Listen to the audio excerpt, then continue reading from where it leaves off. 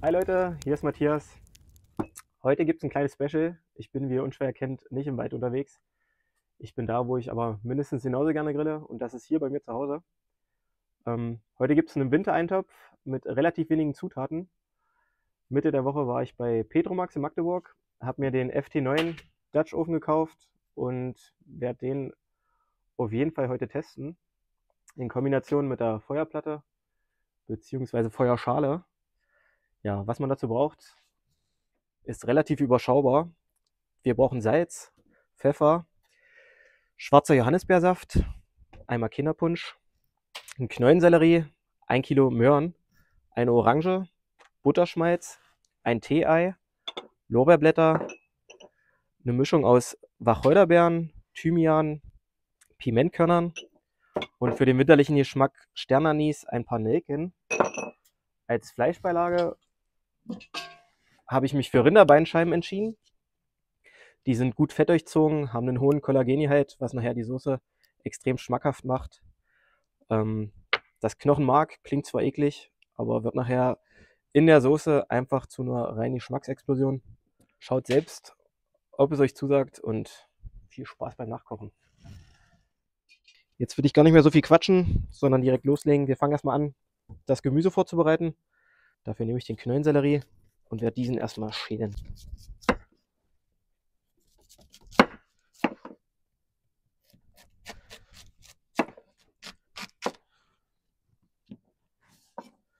Möhrchen und Sellerie sind jetzt in ja, grobe Stücke zerteilt. Da auf jeden Fall keine Wissenschaft draus machen. Das geht nicht nach Schönheit. Das zerkocht sowieso alles. Mm, das ganze Gericht wird im Anschluss nochmal püriert, aber da kommen wir dann später zu. Die Vorbereitungen für dieses Gericht halten sich auf jeden Fall in Grenzen. Wir werden jetzt anfangen, den Dutch Ofen vorzuheizen, um gleich das Butterschmalz hereinzutun. Während der Dutch Ofen vorheizt, werde ich die Gewürze malen.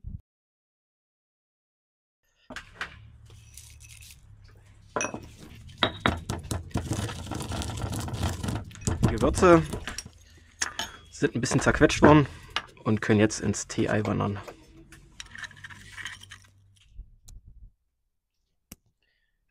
Der Dutch Ofen ist gerade fleißig am Vorheizen. Ich werde es erstmal probieren mit einem wenig Butterschmalz, um zu gucken, ob er die richtige Temperatur hat.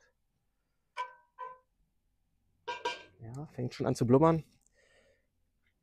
Dann einen guten Löffel Butterschmalz hinzugeben. Kurz anziehen lassen und dann werde ich nach und nach die Rinderbeinscheiben anbraten.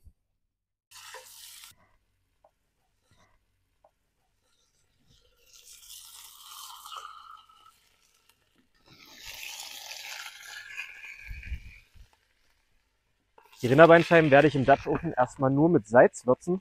Pfeffer würde hier vielleicht verbrennen und bitter werden. Daher erstmal nur kräftig salzen.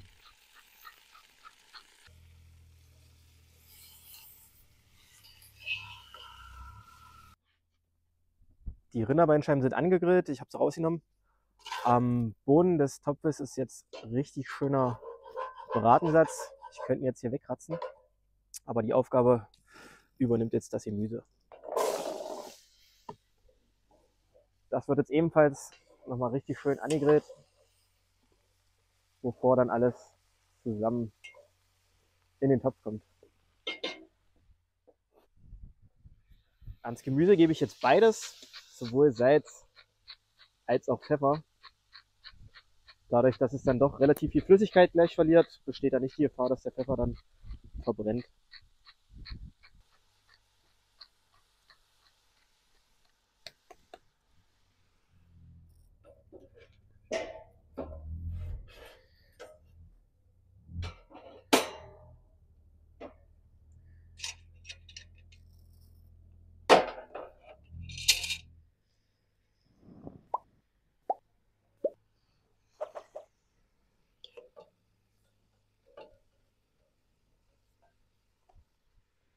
Hier ist jetzt auf jeden Fall schön Schub in der Feuerplatte. Das Gemüse ist soweit gut angeröstet und jetzt werde ich das Ganze mit dem schwarzen Johannisbeersaft ablöschen.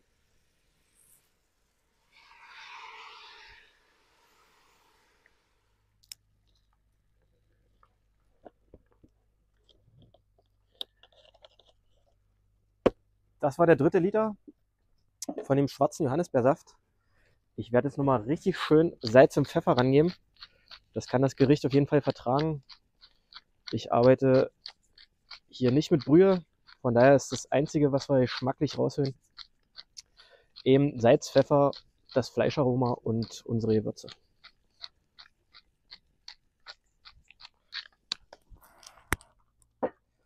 Dann kann das Tee-Ei mit hinein und das Fleisch.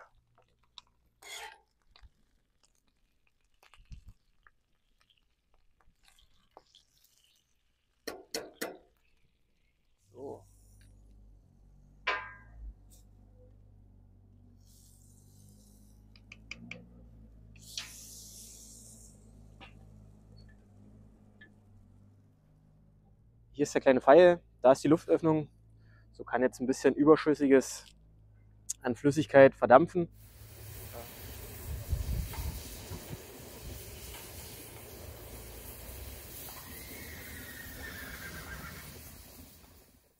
Zwei Stunden sind vergangen. Leider musste ich das Setup ein bisschen umbauen. Ihr seht im Hintergrund, die Feuertonne ist aus. Ähm, das raubt einfach zu viel Energie aus dem Dutch Ofen, der kalte Regen. Deshalb habe ich umgerüstet. Die ganze Sache geht jetzt auf dem Gasgrill weiter.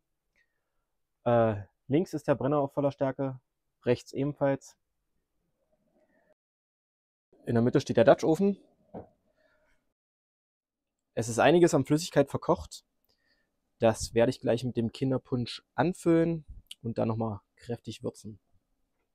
Die Orange nehme ich einfach, zerdrückt diese. Somit bekommt das Gericht nochmal die letzte winterliche Note. Hier geht jetzt nochmal für circa eine Stunde der Deckel drauf. Dann kann das Ganze nochmal gut durchziehen. Jetzt mache ich allerdings diese Luftöffnung zu. Der Pfeil zeigt quasi nicht auf diese Öffnung und somit bleibt die Flüssigkeit im Topf und kann weiter vor sich hinziehen. Das Ganze war jetzt nochmal beim indirekten Setup für eine Stunde bei 200 Grad auf dem Gasgrill. Ähm, jetzt werde ich den Topf ein bisschen zur Seite schieben werde dann das Fleisch heraussammeln und das Ganze dann gleich pürieren. Ja, man sieht, dadurch, dass die Luftöffnung verschlossen war, konnte auch nicht so viel Garflüssigkeit verloren gehen. Der Großteil vom Fleisch ist rausgesammelt. Den Rest im Topf werde ich jetzt pürieren und im Anschluss das Fleisch zerkleinern.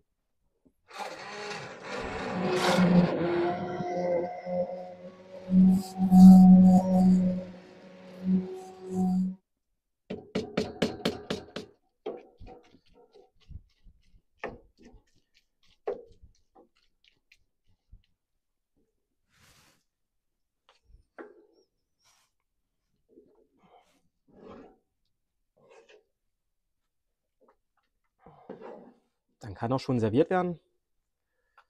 Zu dem Ganzen würde ich ein frisches Baguette empfehlen. Oder natürlich auch Klöße, passt auch hervorragend. Ähm, ja, ich habe jetzt hier das Baguette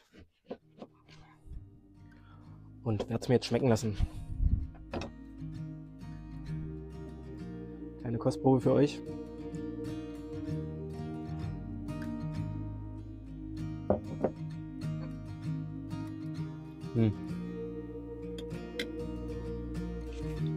Super, super lecker.